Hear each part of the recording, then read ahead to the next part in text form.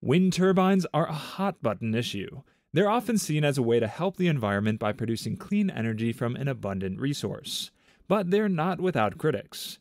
Wind turbines may be beautiful to look at, but they have some negative impacts on the environment as well. The spinning blades can also harm birds and bats by disrupting their sensitive navigation systems, as well as causing them physical harm when they collide with the giant towers.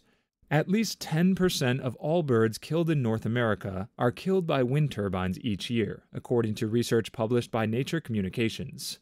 This number is expected to increase as more turbines are built around the world over time. Birds and bats are often killed by colliding with turbine blades as they fly through them, or they may be cut in half if they come too close to a spinning blade. Wind turbines can also disrupt migratory patterns and cause bird populations to decline in areas where many wind farms have been constructed.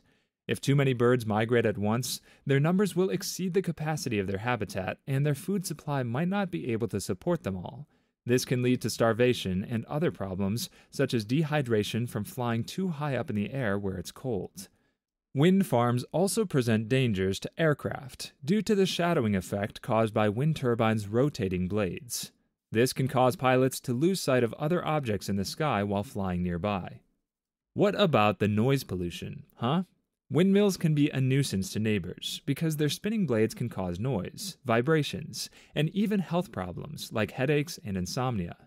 Wind turbines can be heard from up to 10 miles away, and even inside houses, cars, planes, and boats. This is because they emit low frequency noise when the blades spin. The sound produced by wind turbine blades rapidly decreases with distance from the source.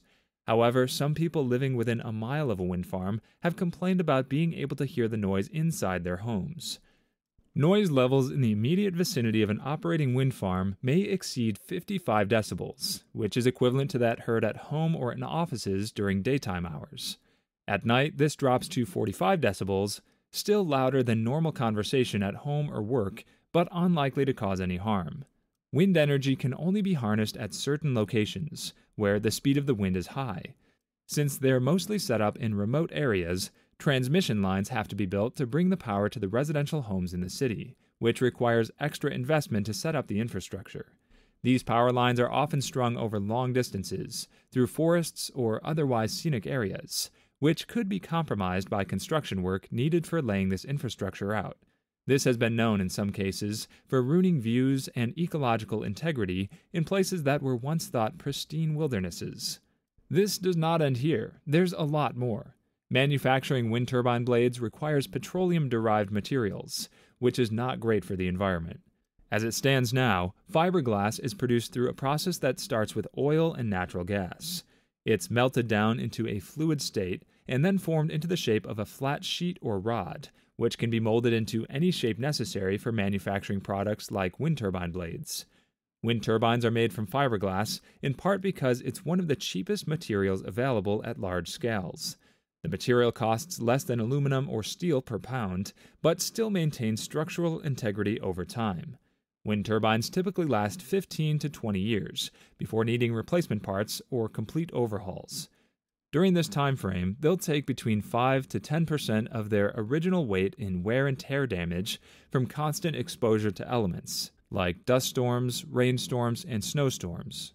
And if this is not enough, there are a lot of wind turbines stuck in landfills because there's no easy way to dispose of them.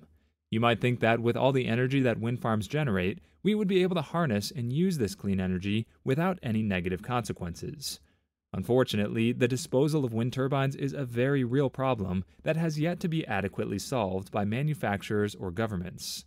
A recent article from The Guardian describes how many wind farms are stuck in landfills because there's no easy way to dispose of them after their useful lives are over.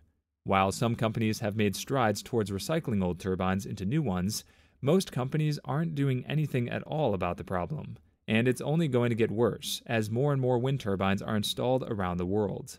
The recycling of a wind turbine is challenging, but not impossible. For example, the removal of blades can be difficult.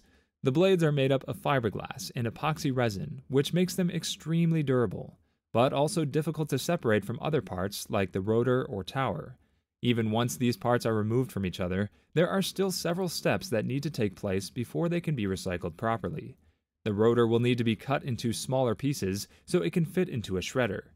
Next, those smaller pieces will be placed in an incinerator where heat will break down any remaining epoxy resin into an unusable liquid form that can then be disposed of safely or recycled. This process also releases harmful fumes, which must be filtered out before gases are released back into the atmosphere. Finally, when all dust and debris have been removed from these materials, there's only leftover metal. This material is then sold for scrap metal prices if possible. Wind turbines have a life expectancy of about 20 years, so making them easier to recycle will be important as more turbines reach the end of their lives. How do you make wind turbines easier to recycle? The answer is simple you reduce the amount of metal used in each turbine. One way that companies are doing this is by using fewer parts and replacing some materials with lighter ones, like fiberglass. Another way they're reducing weight is by using smaller blades, the wing like devices on top of each turbine, that have less surface area overall than conventional ones do. This means it takes less energy to lift them into position at the top of towers when installing new turbines or replacing old ones we need to think about how we'll dispose of wind turbines as they reach the end of their lives. In order to make wind turbine recycling a viable option, we need to design them in ways that allow for their disassembly and repair. This will make it easier for them to be repurposed into new products, rather than simply being thrown away. So, what can we do about all this? One great place to start is by creating more recycling facilities for decommissioned wind turbines.